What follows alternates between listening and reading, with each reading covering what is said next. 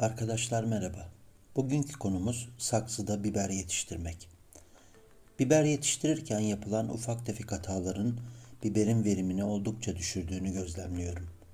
O yüzden bu videoyu hazırladım. Belki bu içeriği izleyerek birkaç konuya dikkatinizi çekebilir ve verimi arttırmanızı sağlayabilirim diye umuyorum. Videoyu baştan sona izlerseniz bildiğiniz veya ilk defa duyduğunuz püf noktaları içeriğin çeşitli yerlerinde karşınıza çıkacaktır. Verimi arttırmak için öncelikli konumuz saksı seçimi. Bibere ekeceğiniz saksınız derinlik olarak 20 santim altında olmamalıdır. Bazı kökler aşağı doğru ilerleyerek yukarıdaki verimi oldukça arttırırlar. Bunu sağlamak da saksının derinliğini arttırmakla olur.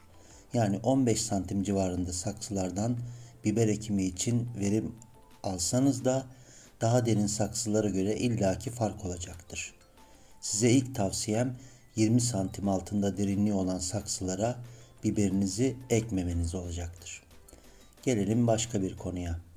Alttan ve yanlardan toprağın fazla suyu dışarı atabilmesi için drenajlara sahip bir saksı seçmek en mantıklı seçim gibi görünüyor. Sadece altındaki drenaj delikleri olan saksılar bazen yerle temas halinde olduklarından fazla suyu kolaylıkla dışarı aktaramıyorlar.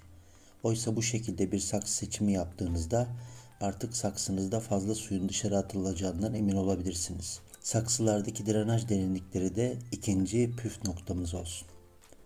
Toprağı saksıya ilave etmeden önce saksı dibine birkaç çakıl taşı benzeri taşlar koymak, en azından bir sıra boyunca bunları ilave etmek, ileride biberlerinizi suladığınızda suyun dışarı atılmasında çok faydalı olacaktır fazla suyun dışarı atılması konusu çok önemlidir. Biber suyu seven bir sebze olsa da köklerin su içinde kalması istenmeyen bir durumdur. Alın size üçüncü püf noktası. Toprak seçimiyle devam edelim. Yapılan en büyük yanlışlardan bir tanesi poşet içerisinde hazır alınan torflu toprağa biber ekmektir. Bu toprak tek başına sebze yetiştirmek için uygun değildir. Bu karışım bir toprakta değildir süngerimsi yapısıyla suyu tutar ve hapseder. Siz besinli bir toprak aldığınızı ve yetiştireceğiniz biberlerin veya sebzelerin daha verimli olacağını düşünürsünüz. Fakat bir iki hafta içerisinde ya da daha kısa bir sürede yanıldığınızı anlarsınız. Biber için uygun olan toprak bahçe toprağını neredeyse yarı yarıya ölçüde kum karıştırmaktır. Ama güzelce karıştırmak. Bu da dördüncü püf noktası. Yani torf kullanmayın demiyorum. Karışım toprağa bir miktar ilave edebilirsiniz. Fakat komple torftan bir, bir biber ekimi çok yanlış bir seçimdir. Hatta torf yerine bir miktar koyun gübresi karışımı oldukça zenginleştirecektir. Ölçüsünü abartmadan olmak şartıyla. Biber fidesi ürün verene kadar sulama işlemi 2-3 günde bir yapılabilir. Yaklaşık 1,5-2 ay süre geç, geçtikten sonra ürün vermeye başlayınca artık sulama aralıkları uzatılmalıdır. Yani daha az sulanmalıdır. Genel sulama prensibi aslında toprağın nemli kalması olmalıdır. Yani biber toprağını çok kurutmak verimi düşürecektir. Nemli kalmasını sağlamak yeterli olacaktır. Fazla sulama aralıkları özellikle domateste ürün vermeye değil de uzamaya gitme sürecini başlatır. Bu da ürün miktarını azaltır. Ürün vermek yerine sebze kendi dallarını kalınlaştırmanın peşine düşer. Etrafınızda şu cümleyi çok sık duyabilirsiniz. Domatesim, biberim ya da salatalığım çok büyüdü ama daha doğru düzgün bir şey görmedik. İşte bu yanlışın cevabı çok su vermişsin.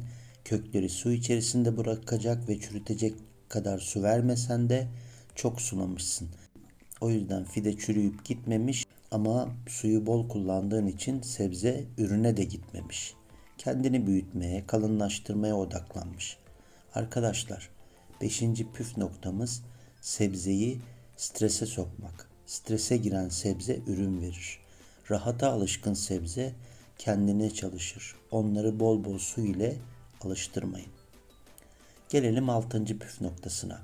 Bu püf noktası en çok çilekte işe yarıyor. Toprağı eşelemek. Ara sıra toprak eşeleme işlemi sebzede toprak altı havalandırmanın çalışmasını sağlıyor. Bu havalandırma işlemi verime gerçekten etki ediyor. Özellikle çilekte bunu gözlemledim. Toprağı eşelenmiş, havalandırılmış çilekler çok hızlı gelişiyor. Ve bu işlem biber, domates ve salatalıkta da işe yarıyor. Biraz da gelişim ve verim için genel konulardan bahsedelim.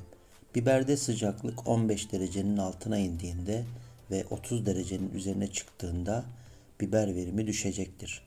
Bu sıcaklık aralığında saksıda biberinizi korumaya özen gösterin. Saksıda olduğundan çok güneş altında olması halinde yerini değiştirebilirsiniz. Soğuk bir akşamda balkondan kapalı balkona almak gibi taşıma işlemi yapabilirsiniz. Biberin komple gölgede yetişmesi de zordur.